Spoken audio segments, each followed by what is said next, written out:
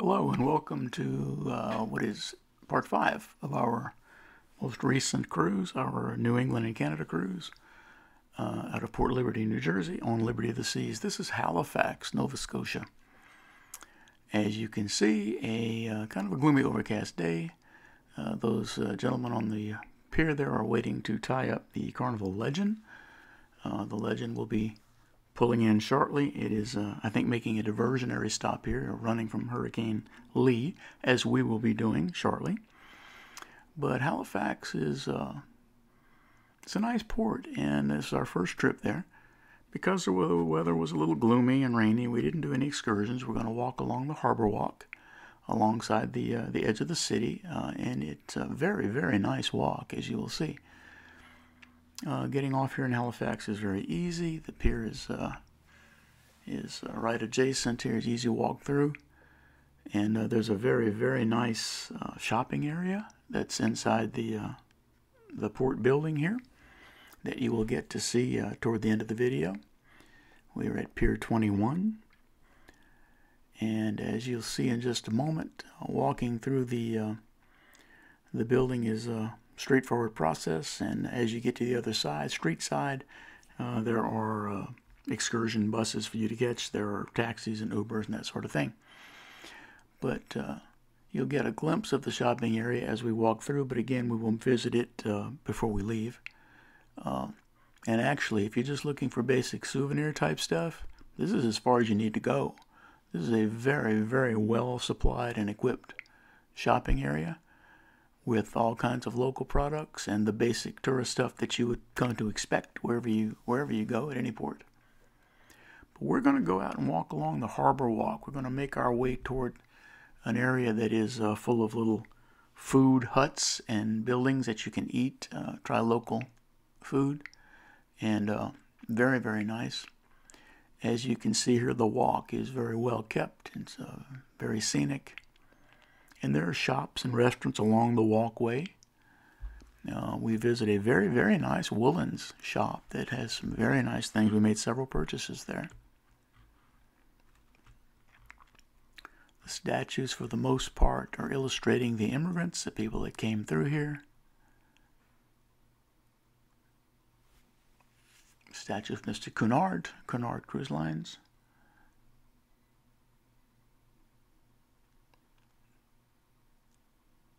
Not really any way to get lost here. Stay on the path, stay on the boardwalk, and you will uh, reach your destination.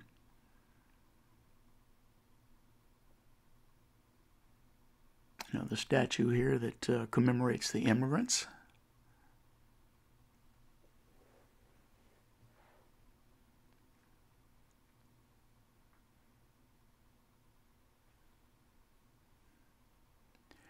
here's Carnival Legend. It finally made it here in the port.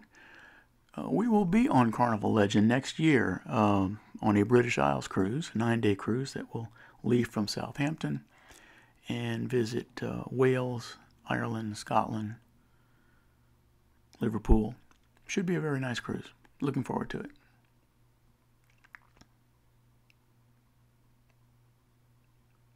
Looking back toward the ships and just follow the boardwalk. Even with two ships, it was not particularly crowded. I think a lot, a lot of people probably did take excursions into the to the uh, local areas.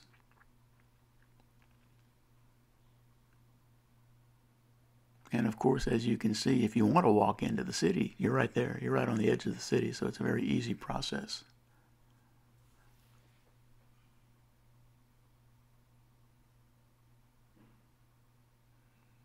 Here's George's Island, which is uh, the island we looked at just at the beginning. You saw a little lighthouse on it.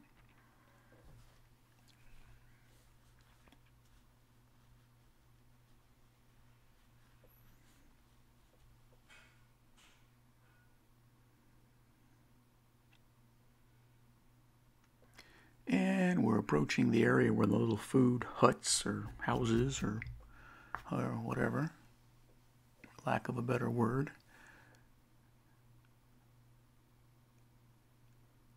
and we're a little early. A lot of the places are just not quite open yet, but they will be within a few minutes. A lot of folks are taking the time to check out the menus.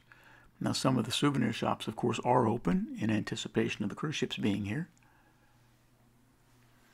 As you can see, it's a working port.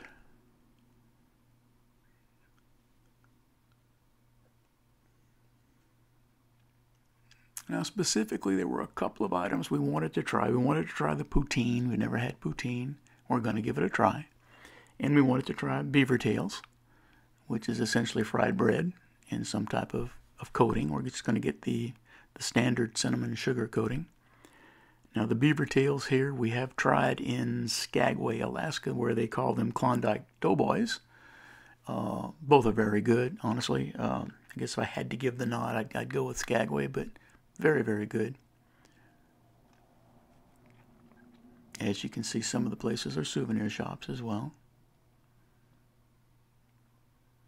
just past the gray building on the right, there are restrooms.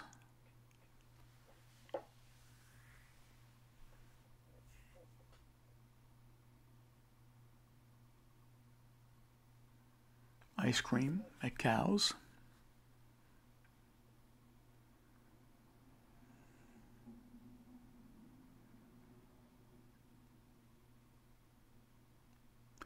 And again, it's a, uh, a very pleasant walk.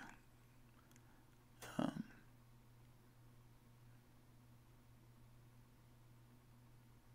lots of folks, I think, had the same idea just to walk along the, the shoreline. This is where we get the beaver tails. They're not quite open yet. Now, just to the right of this building, the right side of the picture, are the restrooms. You can barely see them. They're on the right, I think. And uh, they were nice. They were well kept up. There's seating areas along the, the route as well. Different diversions. And again, it's a working port. They're out there, people with boats. Very, very scenic area. Pleasant place to be. Pleasant place to walk. Pleasant place to sit and have a bite. Poutine. Poutine is essentially french fries with some type of brown gravy and uh, cheese curds. And uh, what's not to like? They were good. Very, very good. Nothing unpleasant about them at all. And of course, the uh, beaver tails, fried bread, and again, fried bread rolled in sugar and cinnamon. Again, what's not to like? This is good stuff. Perhaps not the healthiest, but good stuff. And we certainly did enjoy them.